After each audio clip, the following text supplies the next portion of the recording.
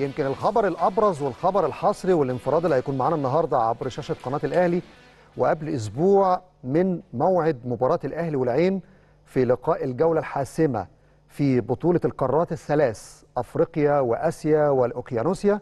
مباراة الأهلي المصري والعين الإماراتي يوم الثلاثاء المقبل على استاد القاهرة الدولي. المباراة الساعة 8 بتوقيت القاهرة. رسميا قدرنا نوصل من خلال مصادرنا في الاتحاد الدولي لطاقم التحكيم الذي تم تكليفه بشكل رسمي لإدارة هذا اللقاء.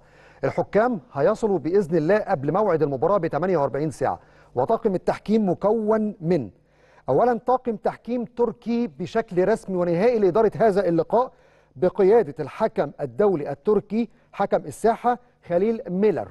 طبعا في كلام كتير على هذا الاسم وعلى هذا الحكم وليه تاريخ كبير جدا هتكلم عليه دلوقتي ولكن هستعرض معاكم باقي الأسماء. الحكم المساعد الأول التركي إبراهيم أويركان والمساعد الثاني مراد كوربي والحكم الرابع كوجوك زوربي. ده الحكم الرابع وده طاقم تحكيم تركي لإدارة هذا اللقاء. على تقنية الفار تم الاستعانة بطاقم تحكيم إيطالي. طاقم تحكيم إيطالي سيتواجد في مباراة الأهلي والعين على تقنية الفار. حكم الفار الرئيسي ماركو دي بيلو. هو الحكم الإيطالي اللي هيكون مسؤول عن تقنية الفار والمساعد ال AVAR؟ الإيطالي أيضا مواطنه أليخاندرو دي باولو.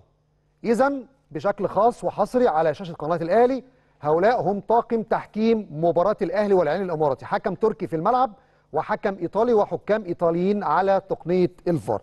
الماتش يوم الثلاث 29 أكتوبر. الحكام هيصلوا إلى القاهرة يوم الأحد 27 أكتوبر ووفد الفيفا يصل إلى القاهرة يوم 25 أكتوبر. قدامنا على الشاشة يمكن ده الحكم التركي آه خليل آه ميلر. على فكرة حكم مثير للجدل. في ديسمبر العام الماضي لو تتذكروا مباراة ريزا سبور وانكرا جوجو. فاكرين رئيس النادي التركي انكرا جوجو لما نزل اعتدى عليه وضربه ب آه يعني لكميه كده في وجهه في أرضية الملعب والدوري التركي توقف أسبوع كامل والحكم تم نقله بسرعة إلى المستشفى والدوري قعد أسبوع ورجع على 19 ديسمبر. هذا هو الحكم الذي تم تكليفه بإدارة هذا اللقاء. جاني إنفانتينو وقتها يمكن تعليقا على هذا الحادث كتب على حسابه الرسمي على الإنستجرام ضد هذا الكلام وقال لا يوجد مكان على الإطلاق للعنف في كرة القدم وفي نفس اللحظة كان هناك مباريات كأس عالم للأندية الاهلي شارك فيها في المملكة العربية السعودية حكام الفيفا في جدة. كان لهم موقف وقتها وساندوا الحكم بمقطع فيديو وجهوا فيه دعم وحب ومساندة قوية للحكم التركي.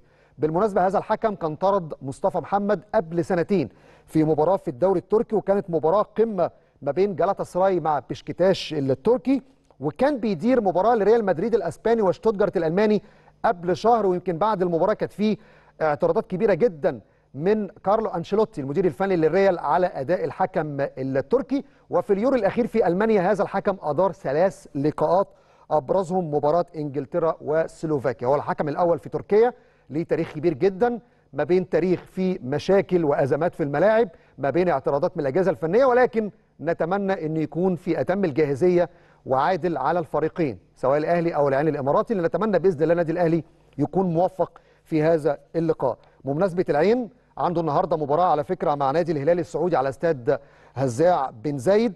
نتمنى التوفيق بإذن الله لفريق العين الاماراتي النهارده ضمن مجموعات دوري أبطال آسيا. وبإذن الله الفترة اللي جاية عنده مباراة أخرى في الدوري قبل ما يجي القاهرة عشان يلعب مع الأهلي يوم الثلاثاء المقبل في مباراة. هيكون فيها تتويج بطولة بكأس بميداليات. لسه مش مؤكد حضور جياني إنفانتينو أو باتريس موتسيبي. هنتأكد في الحلقات الجاية من برنامج الترند. وأكيد هيكون معانا أخبار خاصة جدا بخصوص هذه المباراة في الحلقات القادمة.